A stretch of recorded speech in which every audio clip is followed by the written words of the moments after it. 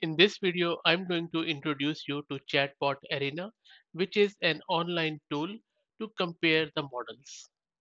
This new tool ranks chatbots by pitting them against each other in head-to-head competitions. This chatbot arena allows to prompt two large language models simultaneously and identify the one that delivers the best responses. This chatbot tool provides a qualitative score implemented in a way that can rank any number of models relative to one another. This chatbot arena offers two modes.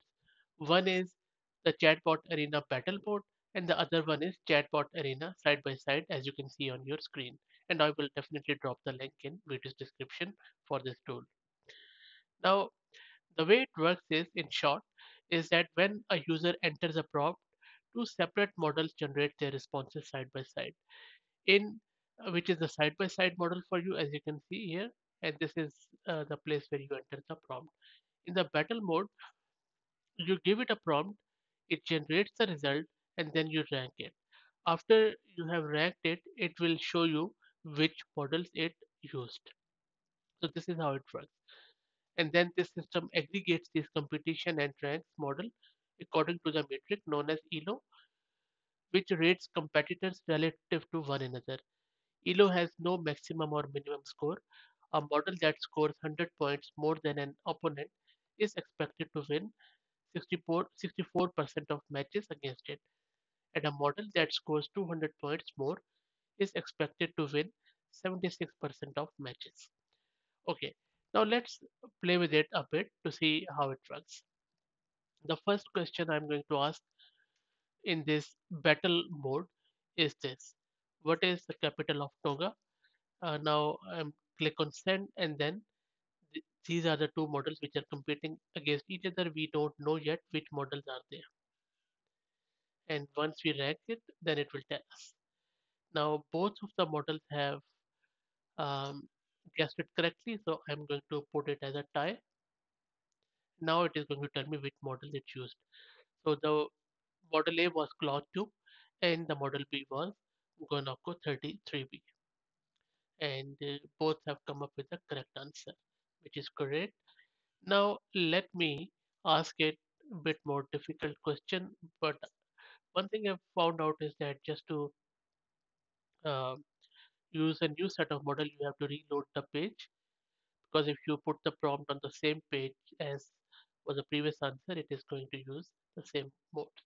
Okay, now we have reloaded it again. Let me ask it this: Is New Relic monitoring tool compatible and compatible with Windows 2003? Click on send. Now let's see what it does. And by the way, the answer is that it's not compatible. So let's see which model guesses it correctly. And as I mentioned earlier, we don't uh, know which models they are.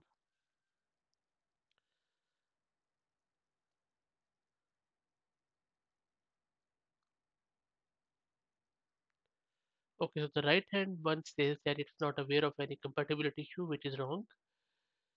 I think it is just a generic answer.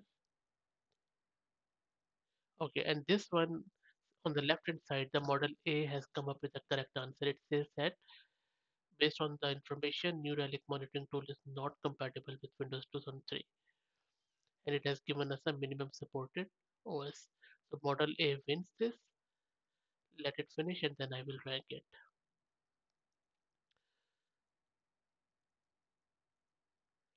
Okay, um, that is good. Let it finish typing and then we'll see which model is this model A which has won this competition. Okay, now A is better. Now let's see which model is was it. So it is Llama 2 13 billion whereas Wizard LM has lost it. No worries. So this is how you can do the battle mode. Let's also check it in the side by side mode. Now this one is a Llama 2 and this one is Raven. Let me ask and you can select the models from here. Just click on them and then they will be selected. Okay, now let me put it here. The same question. Let's see which one wins. Okay, so let's wait for it to come up with the result. Okay, this one says that it was unable to fetch it, which is okay.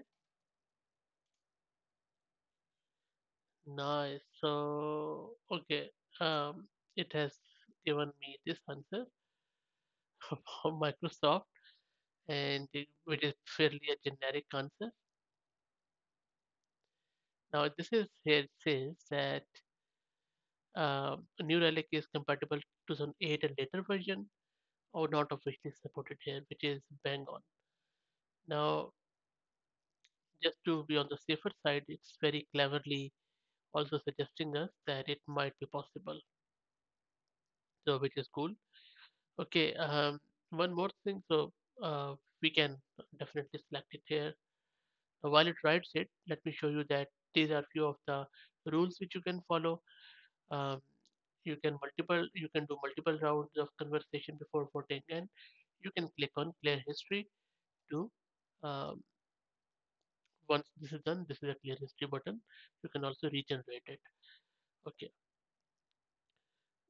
Also, another thing in this chatbot arena is that you can look at the leader uh, leaderboard here, where which one is winning so far uh, publicly. So GPT-4 is at the top, and then we have two Claude models, and then GPT 3.5.